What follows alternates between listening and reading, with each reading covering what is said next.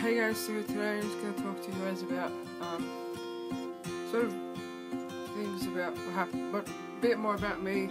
Um, I'm I'm dyslexic. Um, I have dyslexia, and if you guys don't know what that means, just know really likes. It's dumb. And then, so just talk to you guys a little bit about how I found out I was dyslexic. Um, so in grade two, I believe, my mum and my dad went to parent-teacher interviews.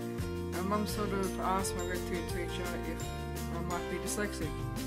She didn't know what it means, or she didn't know what it was. Actually, didn't know what it either. And we sort of just thought, well, my parents sort of just thought, oh, you know, she's just a slow learner, all this and that.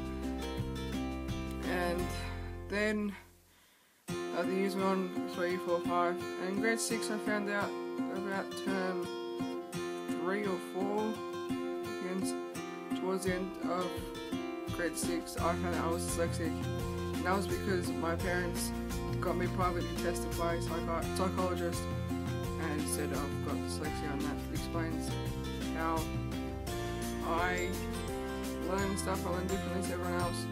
I can't read too long, or else just words are blurry all. So I um, found I was dyslexic when I was 10 years old, um, which was a bit not too much late, but it was late in my schooling. I was starting in seven year after, and yeah, and then it just sort of got too much for me to handle until this year. Um, being dyslexic and all this, that, and the other, and other things have been going on. So I've quit school. Taken a break from school. Um, probably going to quit next year as the legal age uh, is 17. and I'll be 17 next year, um, which is a bit of pain because I would like to quit this year, but obviously I can't. So for about six years, I guess, I've known I'm dyslexic and I don't really wish it on anyone. So, yeah, so if you're dyslexic, give us a thumbs up so I know how many people are dyslexic. Um, know that you don't watch my obviously. Yeah, so I do have a, another video filmed, but I thought this might one, this might one, this one would be a bit more important than the other one. Um, so you guys get to know me a little bit better. So yes, I'm dyslexic, and yes, that's just basically what I wanted to say to you guys. So I hope you guys are doing well.